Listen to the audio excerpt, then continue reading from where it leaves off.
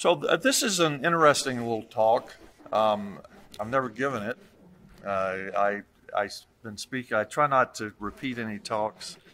I'll go back five years and, and redo a five year old talk because by then there's enough information to update it. Um, I wanted to give a very simple lecture on the pressure controlled breaths and uh, contrast them. So, my catchy title is Pressure Control is to Pressure Regulated Volume Control as what is to volume support. That's my catchy title.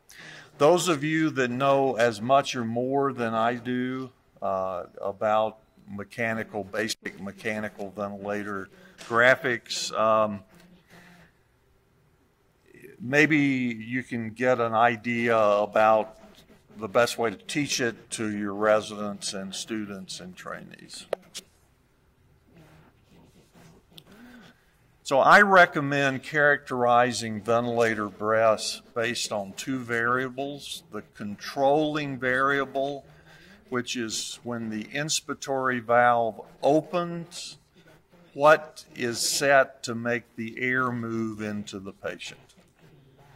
And there are only two for traditional breaths, and that's either you directly set a flow 40, 60, 80 liters. So when the inspiratory valve opens, you've got a flow set. Or you directly set a pressure that you get immediately by pressurization at the inspiratory valve, and their flow moves based on a pressure gradient. And the other is cycling mechanism, which is what tells the inspiratory valve to close, the breath is over, and open the expiratory valve. And the best way to characterize and contrast different breaths is their controlling and their cycling mechanism. So with that in mind, before we we do pressure control delivery, let's look at its opposite, the flow control breaths, volume control is flow controlled and volume cycled, and that's why you have a flat flow because that's the control that's pushing the breath in. And you have a slowly rising pressure until you reach a peak at the end inspiration because all of your measurements are made out near the ventilator. And if you have 40 liters of flow, it's just flying into the lung and you get no pressure buildup until you go into inspiration and you begin to get impediment to the flow and the pressure rises near the ventilator. And that's why you get that pressure waveform and that flow waveform. So now let's talk about the pressure controlled breaths. And the first one, I'm going to talk about pressure control. Now, why this particular pressure control breath was lucky to get called pressure control, um, who knows? Uh, the English language is funny. Uh, but a pressure control breath is pressure controlled and time cycled. So in, with, with a volume breath, the inspiratory valve uh, closes when you achieve a set tidal volume and the expiratory valve opens. This has a preset time. This is contrasting a volume flow control breath and a pressure control breath, the pressure control breath. And here you can see that when the inspiratory valve opens, there's an immediate pressurization at the inspiratory valve. It's a flat pressure waveform, and the gradient between whatever that higher pressure is at the start of inspiration and what's in the patient at the start of inspiration, which is the end expiratory pressure determines flow based on a pressure gradient, and then you get a decelerating inspiratory waveform uh, because as the pressure gradient as the flow goes into the patient, the pressure goes up in the patient, and the gradient for flow decreases, and your inspiratory flow falls off. Uh, this um, is just another uh, pictorial. Uh, this shows you the inspiratory valve open, and there's an immediate pressurization. That's the inspiratory valve, and it's maintained. So you have 35 here and 5 here at the start of inspiration. And if you have 35 and 5, you get a lot of flow. Here's a lot of flow. And then as the inspiration goes on, this pressure rises in the patient and flow drops off. And here, this is the inspiratory flow waveform above the x-axis. You can see that it reached zero flow, reaching the x-axis, prior to the end of inspiration. And that's because there is a preset inspiratory time on a pressure control breath. So if you achieve the same pressure inside and outside the patient before that prescripted uh, I time, it'll just sit there with the same pressure inside and outside the patient. In contrast to this inspiratory waveform, uh, where you see it started out with the high pressure but you still have flow at the end of inspiration, which means that the pressure in your patient is still less than the pressure that you have pressurized at the inspiratory valve, so you still have flow. If you prolong the I time in this patient, you'll get no more tidal volume if you prolong the tidal volume in this circumstance, you will get more tidal volume. So a pressure control breath is pressure control time cycle. It has two independent variables, time and pressure. Uh, those are preset. They'll be the same every single breath. And its dependent variables are flow and volume. So the flow will be determined by the downstream pressure, and the downstream pressure will change with any change in resistance, any change in elastance, or any change in inspiratory effort. Which means one of my favorite teaching tools is to walk into a post op patient put them on pressure control when I see that they're they're comfortable, they're going to be extubated soon. I, I, say, excuse me, I have some students or fellows or residents. Uh, do you mind uh, if I show them something with a ventilator? And you know, okay, and I, I just set it on pressure control, and I let them adjust in, and then we look at the tidal volume they're getting, and the patient is content. Not a lot of not a lot of variability in inspiratory effort. Their resistance is not changing. Their elastance is not changing. And I say, "Excuse me, sir, would you take some big breaths?" And they take some big efforts, and the tidal volume goes up. And we don't normally think of how a patient can affect tidal volume on pressure control because they don't control I time. And we'll talk about a breath a little bit later, another pressure controlled breath where they do have influence on I time and it does make a difference in the variability of inspiratory effort. So this is another um, pressure control breath. I'm not showing you the pressure. Uh, I'm just showing you here uh, the same point I made earlier with a different graphic. Uh, if you prolong the I time in this patient, uh, you continue to get flow and you get a bigger tidal volume. A patient recovering from acute respiratory distress syndrome is receiving pressure assist controlled ventilation and is triggering all of the ventilator breaths.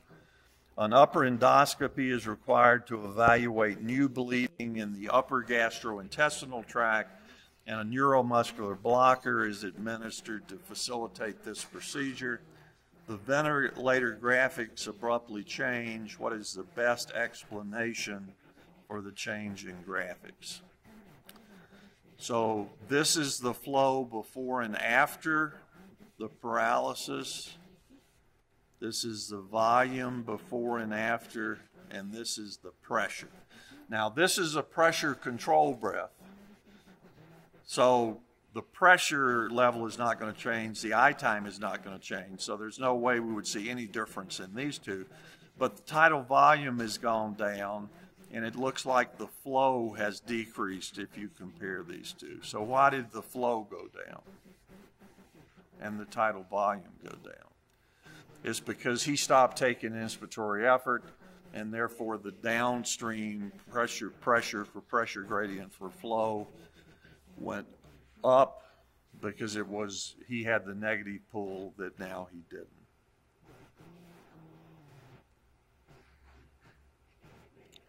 So now I want to introduce the concept of open loop and closed loop.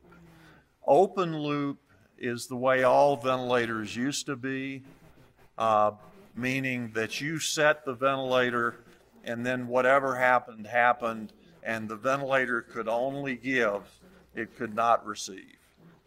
And now ventilators have the capability, the computers, to receive information and make adjustments based on data that they're getting from the patient. And that's called closed loop, and it used to be open loop. And that's a nice way to introduce the difference between pressure control and pressure regulated volume control that we, the name we have in English, or pressure control volume guarantee, uh, but it's the same principle. The principle is you use a standard pressure control breath and you measure each exhale tidal volume and you allow the ventilator to go up on the applied pressure if the target tidal volume decreases and you allow it to go up on the applied pressure uh, if the target tidal volume decreases, the computer goes up. If it increases, it goes down. So it's an attempt to try to keep the tidal volume you want with a pressure control breath. The concept was developed to handle sudden changes in patient condition. If a patient got a mucus plug in the endo or began to get a mucus plug in the endotracheal uh, tube, if they started going into some pulmonary edema, or if their pulmonary edema suddenly got better, or anything got better or worse with resistance and elastance, instead of the, the tidal volume would go up or down briefly, and the ventilator would adjust to hold that tidal volume. Day in, day out, if you go into a patient on pressure regulated volume control, you see inspiratory variability. If you stand there and look at it, it goes 20, 22, 21, 19, 18, 20, 20, 21. There, the change is because of variable patient inspiratory effort, which affects the, the tidal volume and that change is just related to variability of inspiratory effort, which wasn't why it was originally developed. In fact, that can work against you. Uh, I saw Neil showing the H1N1 uh, slides, and you know I can remember uh, during the H1N1 epidemic, uh, we had some young, healthy patients that had big bellas, a lot of strength, and their brains were scrambled from their influenza. And uh, you, you absolutely could not use one of these closed loop pressure control uh, breathing approach on them because they had so much variability uh, over time with their inspiratory effort. So the computer would see a small tidal volume, ratchet up the pressure, and then they take a deep breath and then the pressure the volume would go real high and then oh my god the computer would say and it drop. And if you go in there you see pressures going up and down. You see tidal volumes going from a liter to 90 cc's. And you, you, you either had to sedate them and use pressure control or use volume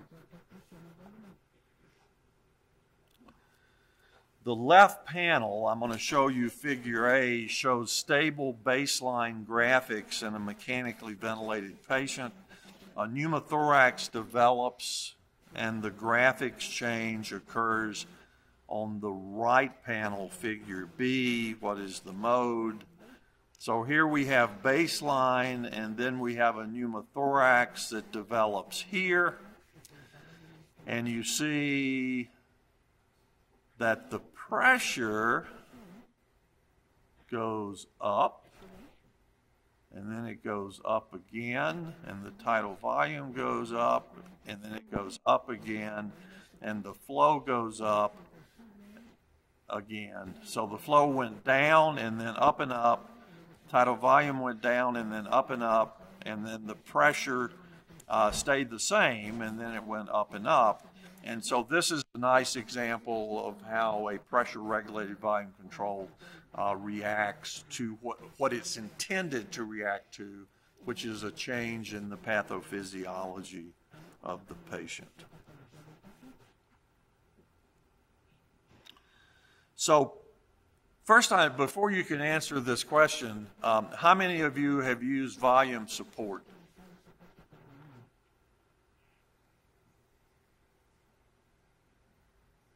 Maybe a couple. We have volume support. I have one attending that loves volume support. Uh, but I can't tell you, uh, I have to tell you the answer now before I tell you about volume support because after I sent Juan the titles, I realized that I had aligned this on my title different than I wanted to present it. So the answer is pressure support. So I told you I was only talking about pressure controlled breaths. So now we're going to go to another pressure controlled breath that is an open loop and it has a different cycling mechanism. Uh, you can see it's a pressure controlled breath, flat pressure. That's what's moving the breath in with the pressure gradient, a decreased inspiratory flow waveform. But now it only comes down to 25% flow. And it'll always come down to 25% flow because that's how it cycles. It cycles by when it gets to 25% of the initial peak flow, it cycles. Pressure control, flow cycled. And patients can influence this.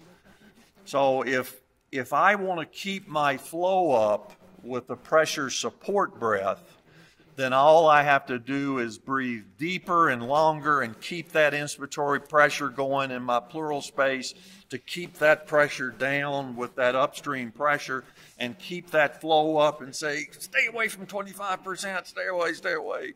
And I'll keep getting flow because when it hits 25, the valve closes, I don't get any more flow. So that's how pressure support works. It's pressure uh, control flow cycled. Um, and this is what it looks like if you have a patient that's taking a lot of inspiratory variability. Uh, here they took a deeper breath, and so it uh, went all the way up to the flow limit. Here they took a shallow breath. The peak inspiratory flow is a lot smaller. Uh, they sustained it longer. They stayed off that 25% longer, and tidal volume stayed up. Uh, here's a, just a showing the same thing. Uh,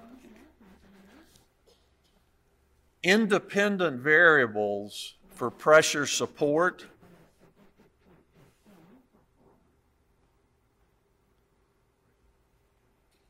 Pressure. That's all. Everything else is a dependent variable. Patient can vary all of them. Uh, can vary I time, can vary flow, can vary tidal volume. So it's an interesting breath because the only thing that's set in stone is pressure, uh, which is a nice intro. Uh, but pressure support, I think I just covered that. So, uh, which is a nice in, in, intro to volume support because pressure support is to volume support as pressure control is to pressure regulated volume control this is the closed loop pressure support breath that is allowed to vary applied pressure based on measured exhale tidal volume. So here, um, and this is probably a cartoon example, uh, but here you see uh, that you've set uh, a tidal volume and the exhale tidal volume here is not met. Uh, so the pressure is incremented up until it reaches that tidal volume uh, as long as it doesn't go above a maximum ventilator set pressure limit. Um, why would you want a mode like this? Um, you probably don't want it so much for maintenance, uh, but my colleague that uses it all the time, uh, she likes it for weaning. Because not only will it go up if the tidal volume is decreased, but if the tidal volume goes up, it'll go down. So it works out uh, as a weaning mechanism, and you can go say, "How's my patient doing? What's that pressure? Is it coming down?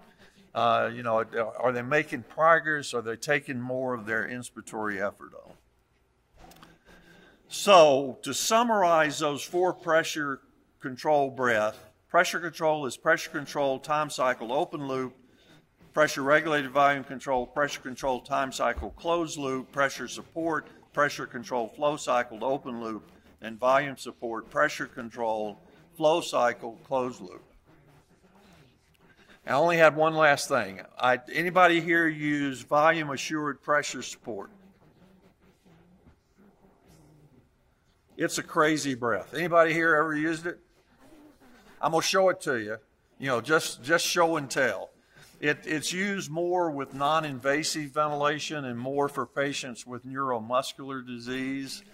Um, and I don't even know why anybody ever figured out how to develop it. It's called a dual control breath.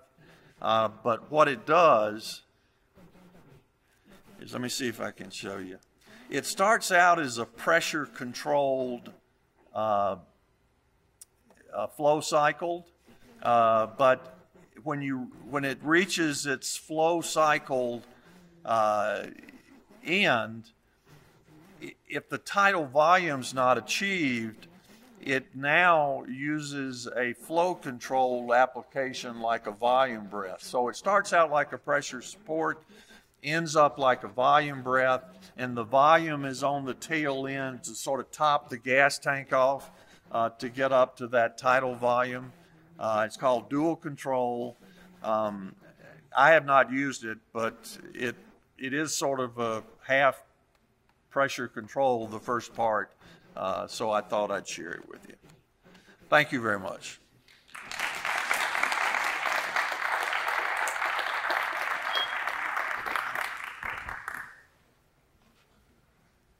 I do not see Juan. I, I do not see Guillermo. Aha. Yes. ¿Alguna pregunta para el doctor Dellinger? Bueno. Bien. Eh, si no hay ninguna pregunta, eh, agradecemos al doctor Dellinger su participación y algunos anuncios parroquiales antes de ya clausurar. Eh, hay un premio que entregar. El premio es el, el, trabajo libre, es a la farmacocinética de los líquidos en choque hemorrágico. Eh, cuyo primer autor es el doctor Gustavo Lugo. No está, por lo tanto no lo entregamos, pero es el ganador de los trabajos libres. Y bueno, ya le haremos llegar su, premio y su reconocimiento. Eh, pues como han visto, ha sido un curso con temas diferentes. Metimos liderazgo, enseñanza incluso la parte económica, que creo que es algo que nos debe de involucrar cada día más a más como médicos participantes de un sistema de salud, así solamente hagamos medicina privada o solamente medicina institucional, creo que todos debemos estar preocupados hacia dónde vamos. Estamos en una época de total incertidumbre, esa es la verdad. Eh, sin embargo, deberíamos de cambiar a lo mejor el chip de esa angustia por la incertidumbre a esa oportunidad de poder crear durante la incertidumbre. Creo que eh, si analizamos la historia del mundo, en las épocas de incertidumbre es cuando más se dan evoluciones y, eh, incluso, bueno, la tecnología digital, los negocios, los llamadas empresas unicornios han, han surgido durante esta incertidumbre. Entonces creo que tenemos una oportunidad preciosa. Eh, a veces el ánimo no nos deja cuando uno ve las, a veces la parte económica, pero creo que es una buena oportunidad de revolucionar incluso el sistema de salud desde su enseñanza, desde cómo practicarla y cómo hacer cosas de bajo costo con mejor calidad, que era un poco lo que decía el doctor Villarreal. Entonces creo que ese es un poco el tono si vamos a mover estos tipos de, cursos de educación médica continua. Creo que como médicos debemos ser cada vez más partícipe de la evolución social de este y de todos los países. Así que, eh, como han visto, eso queremos ahora con estos temas de liderazgo, enseñanza, eh, economía, planeación, y que creo que van a ser cada vez más a más y que esto lo vamos a implementar en una forma de, a lo mejor, talleres para todos ir cambiando y tener realmente una opinión como los que realmente somos los actores de cambio de para dónde vaya y no eh, recibir todo digerido. Eh, al, igual, pues obviamente eh, hubo temas de gran calidad. los, las ponencias, el 60% de las que tuve oportunidad de oír, creo que fueron de excelente calidad. Agradezco evidentemente a ustedes la presencia, el estar aquí un año más. Lo esperamos el año que entra, muy probable en nuestra nueva casa ya en el TEC.